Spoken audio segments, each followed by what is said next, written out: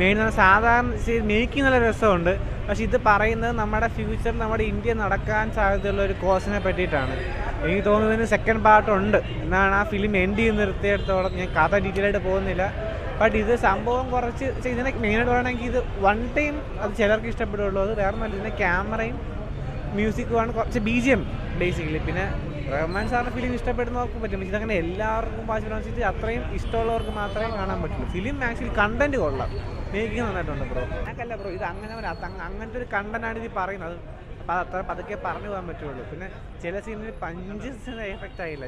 Punch ഇതായിട്ട് നോക്കാൻ അങ്ങനത്തെ കുറച്ച് ബുദ്ധിമുട്ടുണ്ട്. പക്ഷേ film actually one time just ഒന്ന് കണ്ണ അത്രേ ഉള്ളൂ. പക്ഷേ ഇത് പറയുന്ന കണ്ടന്റ് നമ്മുടെ ഫ്യൂച്ചറിൽ വലിയ ക്രൈസിസ് ആവാൻ സാധ്യതയുള്ളൊരു കാര്യമാണ്. ഓക്കെ